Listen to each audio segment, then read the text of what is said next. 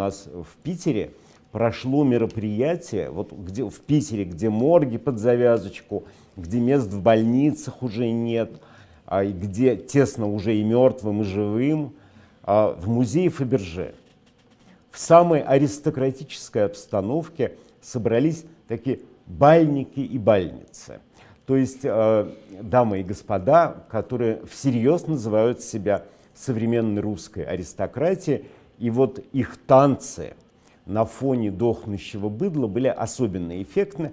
Это, естественно, все происходило без масок, в архитесном контакте, не помыв руки после очередной дамы, аристократы уединялись, чтобы спокойно поковырять в носу.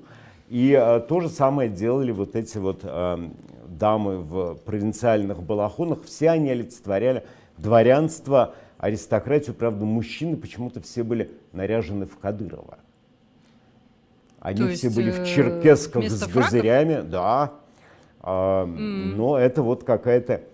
Причем там Действительно, это но- звездность... новое дворянство. Да, Да, звездность участников заключалась исключительно в том, что некоторым из дамочек удавалось, удалось в течение своей жизни какое-то время побыть замужем за известным футболистом. Но э, на визитках у них так прямо и написано, что вот а, патриот и аристократ. Самого главного гости не дождались.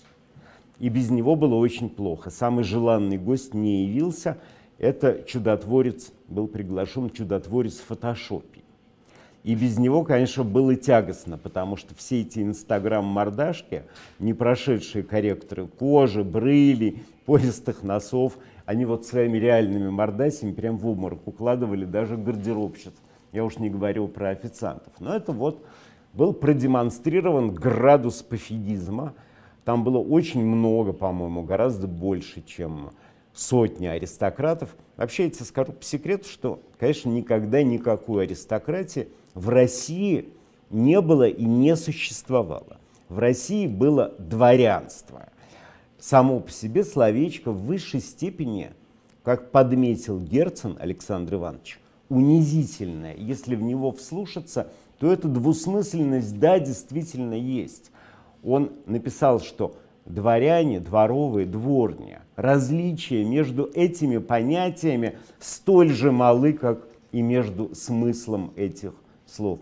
Действительно, если там образовывались, Запад образовывал независимых от престола, независимых от трона, а, пусть и обязанных во время войны предоставить военную силу, пусть и платящих а, своему феодалу дань, но а, свободных людей, то здесь дворянами, дворней назывались просто люди, которые обслуживали двор, прислуживали а, во дворе, дворовые люди очень богатого и влиятельного человека.